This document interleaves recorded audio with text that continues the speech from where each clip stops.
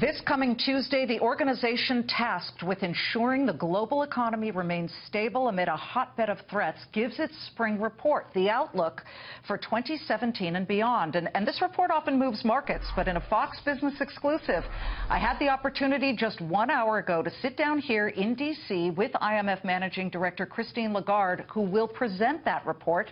And I began by asking what matters to a lot of us, and that's tax reform.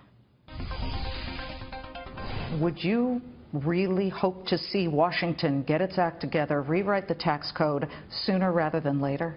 A simplification, uh, certainly um, a lower corporate rate uh, relative to other countries, provided that it's accompanied with simplification by elimination of some of the loopholes, some of the exemptions uh, that are, are, making it far more complicated and difficult to, uh, to manage. You just talked about rates.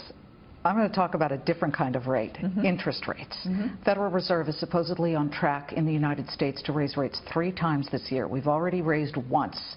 Uh, would that help or hurt the economy if we go for three rate hikes, the global economy? The signal would indicate that the U.S. economy is doing well mm -hmm. and is doing better. So that um, fact in and of itself is positive, of course, for the U.S.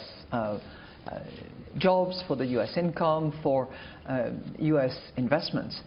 But it also means that it has impacts on the rest of the world. It may have um, negative impact outside the United States because clearly it will um, lead to a strengthening of the currency. So the US dollar will be stronger. Mm -hmm capital flows that are currently located in other markets, in other countries, might flow back to the United States, and that could really impact negatively some of the emerging market economies, some of the developing countries as well, because both sovereigns and corporates in those countries are often borrowed in US dollars. Uh, President Trump has picked some key staffers that are critics of the IMF. Some of them are at the Treasury Department just down the road here. Um, is Stephen Mnuchin, the Treasury Secretary, one of those critics? You have met with him. I understand you're going to do a, a dual interview with him soon. Is he a critic of the IMF? I think he, he's a demanding uh, member of the institution, and, uh, and I'm, I'm, very much looking forward to uh, his challenge, his expectations, mm -hmm. is sort of raising the bar because that's the way in which we adjust, we progress, we demonstrate agility and, and, and a purpose.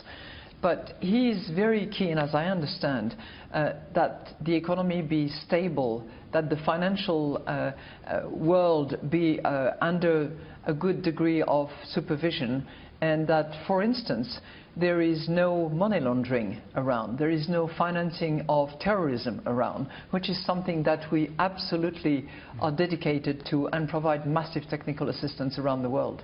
Categorize how you feel about the U.S. economy right now. Oh, upbeat.